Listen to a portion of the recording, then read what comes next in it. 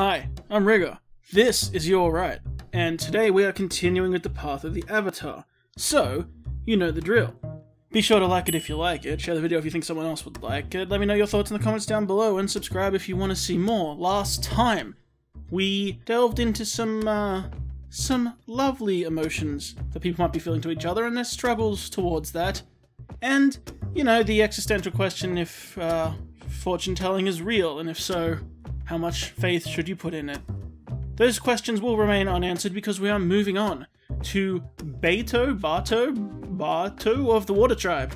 A title that I've seen sitting there in the episode list that I continuously, constantly read as Balto, like, you know, I think that dog movie. So, Balto of the Water Tribe, it is. No idea what this one's about, but hey, Water Tribe, this could be fun. I literally haven't even read the blurb on the episode. I don't know what it's gonna be. The one that came to my head was like a flashback about their dad, maybe? Is that their dad's name? Or something? I don't know. We will see. Or is it just a random Water Tribe person? I don't know. But anyway, we'll find out. So to do that, I will see you on the other side.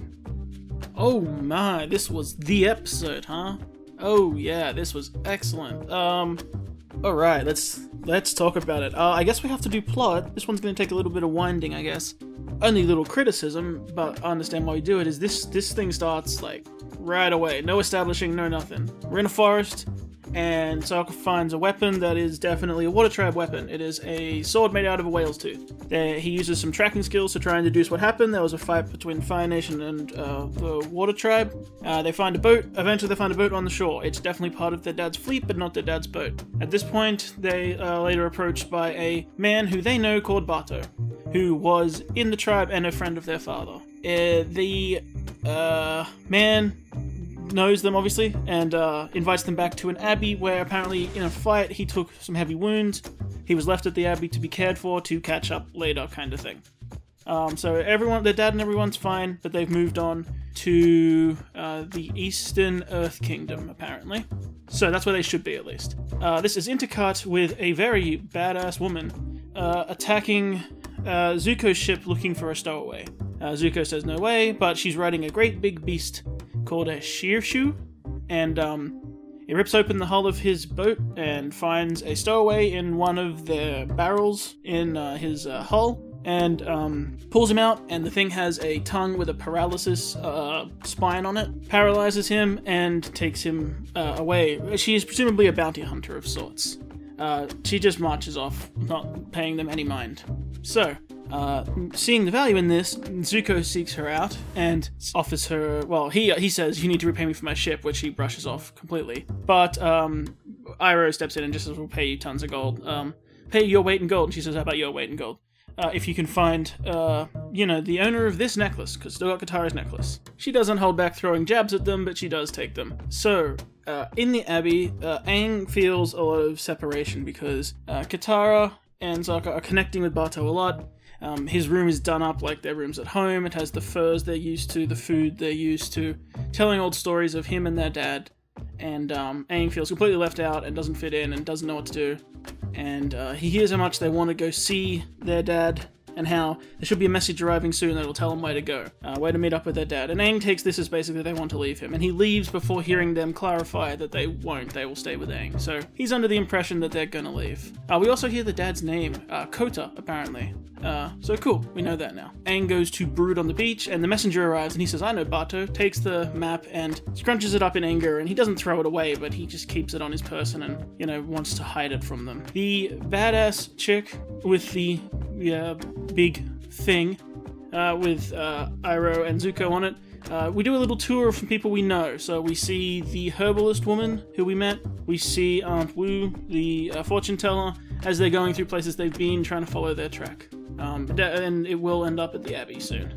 But in, before that, we see Aang feeling very guilty about hiding this from them. He clearly feels a lot of guilt about what he's doing as he's moving around the Abbey. They talk about a tradition called ice dodging, uh, which in the Water Tribe, when you reach 14, you go out on a boat and you work together as a little team, and without uh, the help of the adult, and you dodge a boat through bunches of ice, and it proves it's it's a it's a rite of passage. And they say they're going to do it here. There's no uh, ice, but there is um, some sheer rocks. So uh, it's but it's mostly for Sokka, but they all go out, and so they each take a place and take a role. And uh, so Bato sits at the front doing, you know, uh, not helping, and it's up to Sokka to direct Aang and Katara on how they do it. And they do exceptionally well, dodging through it, and they even do an impossible one where there's no way through, but he directs Aang to bend air a certain way and for Katara to bend water a certain way, and they make it over the rocks. So they did incredibly well. After this, they're each given a small uh, rite of passage blessing, and uh, they uh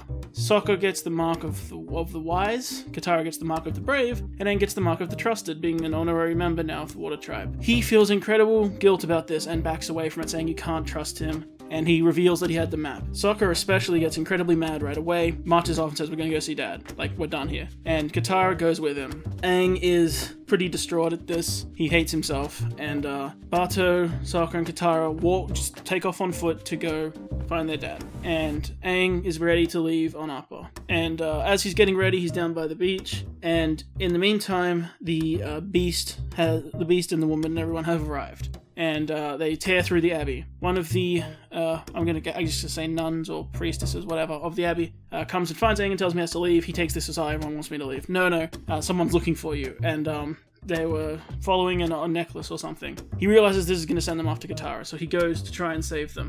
He is too late as uh, Katara, as Katara and Sokka have decided to go back to the abbey. They turn back. They realize their mistake.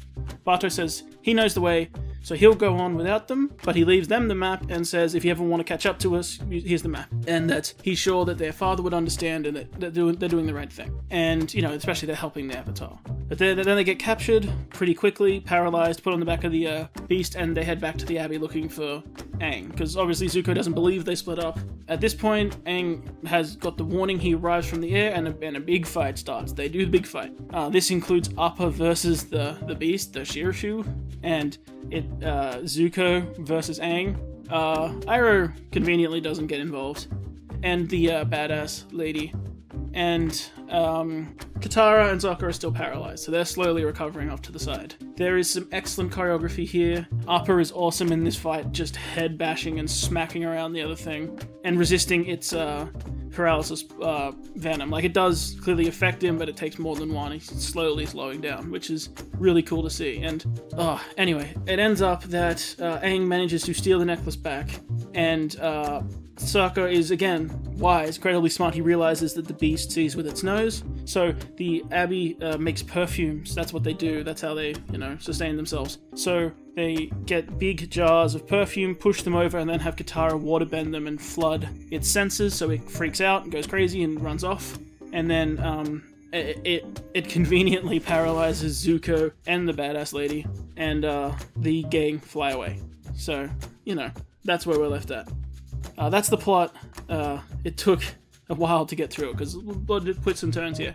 Let's talk about it. First off, this lady is awesome and I want to see her again. She, um, I know that she, she has a whip, but the, the step on me energy is huge here. But aside from that, no, her um, design is great. I love someone who gives people like Zuko, uh, you know, that much um, edge. And, you know, her design's got like the skull on her head, like the skull headband thing, and ah, she looks great. Um, and the tattoos. She looks really cool. So I hope she comes back. Like, I want her to be a regular character. Let's let's like it might be bad for our heroes, but let's get her on board. She's great. Yeah, just the design. Uh, there's lots of characters like this in different animes, but she definitely just has that great all black, um, you know, design. Especially in a in a show like this, where you know usually everyone has you know one of the four sort of um, element colors. So she really stands out. Uh, I also wrote down that um, is Appa gonna have to stomp a bitch because he nearly did. He nearly flattened her. He would have killed her, and, and he, Appa was so cool in this fight.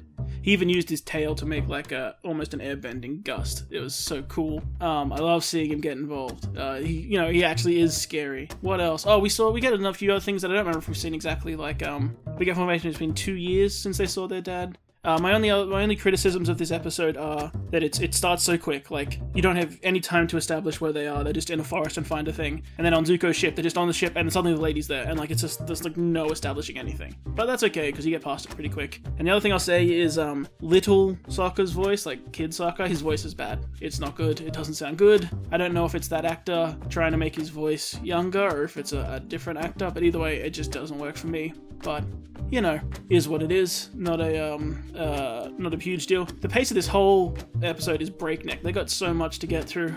Um, I like that Bato didn't end up being a bad guy or a traitor or something. It was just like a nice touch in with uh, the family, with the tribe, and you get, uh, you know, uh, the idea that they had now they now have a way to their dad, and they're definitely going to go to the North Pole first. You know, they have some really serious things to do first. But um, we, I think, I, I forget the pattern, guys. I really do. But is it Earth after water? Because if we do water now, and they do Earth next. Maybe they go to the Earth Kingdom looking for their dad and to do Earthbending at the same time. That would be a good way to do it. Also, the guilt eating up at Aang was um, quite a thing to see. You know, like it, you could definitely see with his again his expression, his body movements, and he definitely felt it immediately. You know, it wasn't just uh, wasn't just uh, like a little twinge thing. It was really getting to him very quickly. Uh, I wrote down notes like, "Hey, the old lady showed up again." Like I was wondering if she would, and you know, same for Aunt Wu. Um, I also have in here, Iroh, you cheeky old man, because they do the joke where, "Oh no, I, am falling down," and the paralyzed uh, woman falls on him, and Uncle, I didn't see you get hit. Shh. Like, okay, all right. You know, I'll let you get away with one. It's whatever. It's yeah, it's alright. Um, but yeah, so great designs. The design on the beast, the Shirshu. That, they said it once, and she said it in passing, so that's what I got. The uh, the that thing's cool. Love its design. It's like a um like a mole design on the front. Uh, with you know obviously the crazy senses. Tearing around through it was cool. Someone giving that much test. To Zuko was cool um, the two the beast fighting was cool because I was wondering how they were going to do it right because I didn't think you'd have you know like human characters like just killing an animal or something. Like even though they talk about it a lot like here's a this thing's made from a whale tooth etc like they don't really talk about killing stuff much. And even Aang shows because of his monk stuff you know he doesn't eat meat and he's also like oh yeah nothing better than the fur of a dead animal when they talk about the water tribe furs. But again like you see dead animals but it's like it's all already done. I don't think you're going to see them like murder an animal on screen. And there's only like one aggressive move made towards an animal like in violence. Because the the badass lady whips the the thing to order it around, which is not great but she only actually whips like Appa once to try and hurt him. And the only uh, actual damage that either of them take is from each other, and they defeat the other one by flooding its senses, not like you know stabbing it or something. But the the the fight between Zuko and Aang was pretty excellent. Choreography is off the chain a bit where they're dancing around on the um they're dancing around and trading blows and dodging blows on top of a well. Really excellent stuff and smashing through rooftops. The destruction was big. I feel sorry for the Abbey. They're gonna have to repair so much, but um it is best that they leave. But um, yeah, this was an excellent episode. This one, uh, this one was really cool. Uh, I don't know what else to say. Uh, I loved it. The choreography was great. The animation was great. The story was fun. The check-in with people from the Water Tribe was great. Um, this side, this random character who turned up is awesome, and I want to see more of her. The beast design is cool. Seeing the beast fight was great. Reaffirmation of their uh, future is great and what they want to do, and uh, possibly a link to their father in the future. Oh, and sweetly at the end, Aang returns uh, Katara's necklace and goes, "Oh, Zuko said to get it back to you," and she goes, "Oh, how massive, Zuko? Be sure to give him a kiss for me." He goes, "I will," and she leaves in. She leans in and gives Aang a nice kiss on the cheek, and he gets all the blushes, and it's very nice. So, lovely note to end on. So, yeah, I think that's everything. Uh, which is a lot, but I really enjoyed this one. Uh, but that's all for now. So until next time, remember the path of the Avatar is a hard one. But if you're getting chased by a lady like that, it's not all bad. Anyway, till next time, my name is Rigger. Hope you have a wonderful day, and I hope I did alright.